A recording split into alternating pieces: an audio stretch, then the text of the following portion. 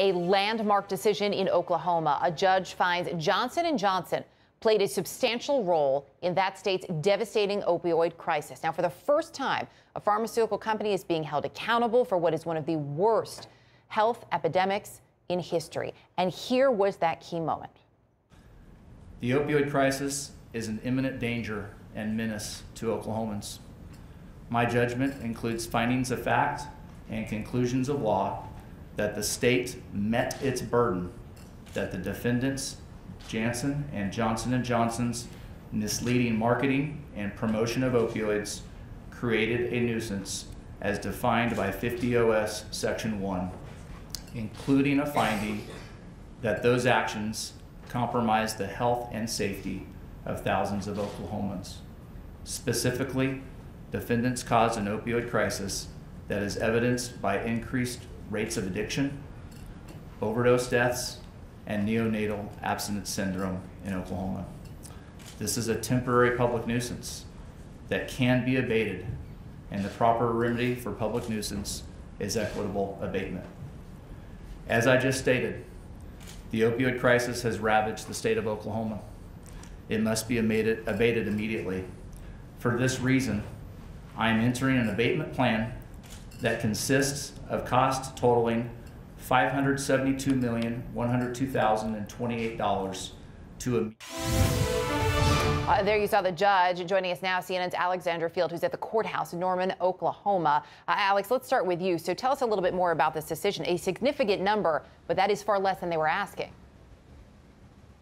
Yeah, less money than they were asking for, but this is really a landmark decision, and this is going to be studied in states across the country. There are dozens of states working to sue Big Pharma for the role that they say that those companies play in fueling the opioid epidemic that has killed hundreds of thousands of people in the last 20 years. Success for the state of Oklahoma, the first state to take a big pharmaceutical company to trial making those allegations. They claimed that Johnson & Johnson had created a public nuisance, one that cost the state billions of dollars and claimed thousands of lives. After eight weeks of testimony, more than 100 witnesses, the judge said that the state had met its burden. Now, Erica, the state was seeking some $17.2 billion worth of abatement that would go toward programs within the state for prevention and treatment, other addiction services too. The judge in the end ordered $572 million. still a big number, not what uh, the state was looking for. Uh, not clear how exactly the judge came up with that number. He mm -hmm. says if more money needs to be allocated to the crisis.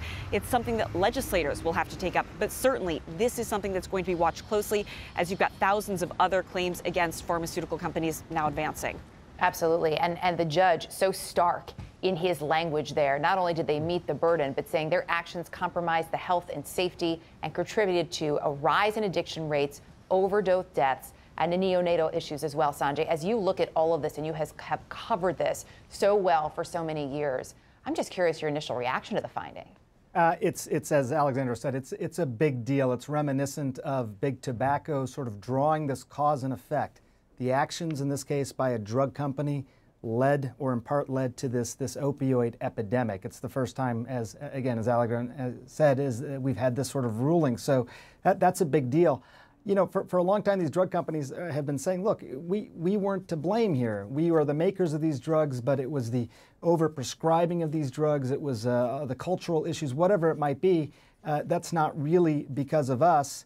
This ruling obviously suggests that that's not the case, that there was misinformation that was deliberate and it helped fuel this, this opioid epidemic.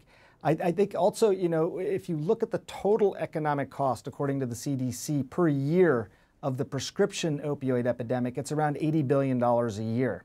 And there's some 2,000 cities, counties, and states that have filed suit. So where this goes from here, I, I, I don't know, but it's it's it's a, it's going to make a lot of a lot of waves throughout the, the medical world, throughout the entire world. Uh, Elliot, we'll, we'll let you tackle the, the legal aspect of that. When you look at this, what could be next? Sanjay mentioned all these other cases. There is other pending legislation, and I would imagine that those folks will now be looking specifically at this ruling out of Oklahoma. Right, and it's a remarkable legal theory because I believe this is the first time that a drug company has, has you know, been found to have created a public nuisance for putting out a drug that functioned exactly as it was intended. It's not like you know the 1980s and 1990s where you had the IUDs and breast implants that, that hurt people because they, they, they just they were defective.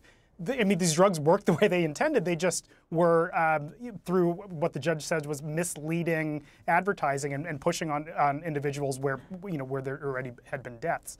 And so this is a fascinating legal theory, um, and it's certainly th- this case in Ohio that was alluded to a little bit earlier. It's something like 2,000 um, municipalities have brought lawsuits, and those are being consolidated together, and they will be looking at this particular legal theory that um, a drug company can put out a product as intended, um, but through a desire, frankly, a desire to generate profits and a desire uh, uh, to keep prescribing when, in spite of um, evidence of, of individuals being harmed, um, um, can um, th- there you go.